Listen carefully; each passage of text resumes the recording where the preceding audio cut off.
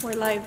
Hey, good morning everybody. It's Jonathan and Steffi. We are going to Cars and Coffee and my friend Shaunt Zakarian, he's hosting the event. I'm super proud of him for putting this together and it's for a good cause. We're doing a toy drive for counseling for kids, Cars and Coffee as well. So it's gonna be a fun event. There's gonna be a barista there, drink some coffee, donate some stuff, um, and then also... We've got Uno. Did you bring it? Yeah. Okay, we got the Uno we're donating and some title, Stewart title things, some promo items that uh, I donated as well, some pens. It's gonna be at Dilbeck, his office, so come on with us, check it out.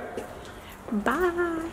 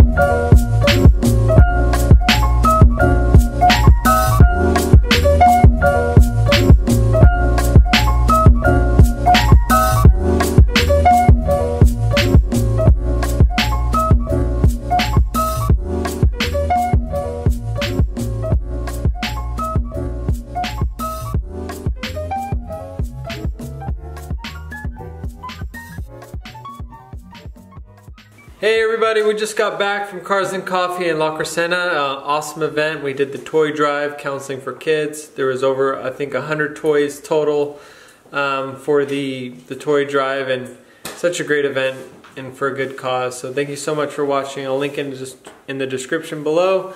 Um, you know, Shaunt Zakarian, he's a realtor for Dilbeck. And then also uh, Mobar was there. It was a kind of barista coffee mobile service, which was pretty cool. They, they had a coffee for everybody there and it tasted delicious. So hope you enjoyed this video. Be sure to give us a thumbs up, like, subscribe, comment down below what your favorite car was at the event, and we'll see you next time. Thanks. Golden out.